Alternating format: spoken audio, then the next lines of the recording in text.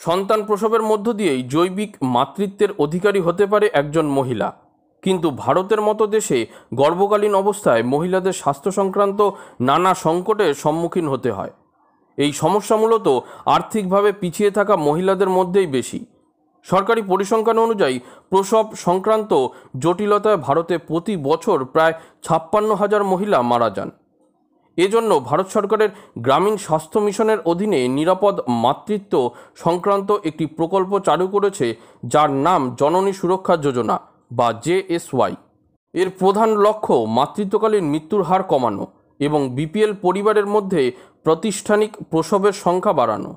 দু হাজার পাঁচ সালের এপ্রিল মাসে চালু করা হয় জননী সুরক্ষা যোজনা।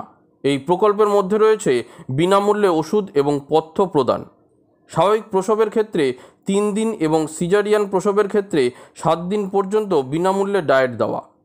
এছাড়া বিনামূল্যে বিভিন্ন পরীক্ষা করা হয় ও রক্তও দেওয়া হয়। বাড়ি থেকে স্বাস্থ্য প্রতিষ্ঠানে আসা কোনো কারণে অন্য হাসপাতালে রেফার করা হলে সেখানে নিয়ে যাওয়া বা বাড়ি ফিরে যাওয়া সমস্ত ক্ষেত্রেই পরিবহনের জন্য একটা পয়সাও লাগে না। জন্মের পর তিরিশ দিন পর্যন্ত একই সুবিধা পায় অসুস্থ সদ্যজাত।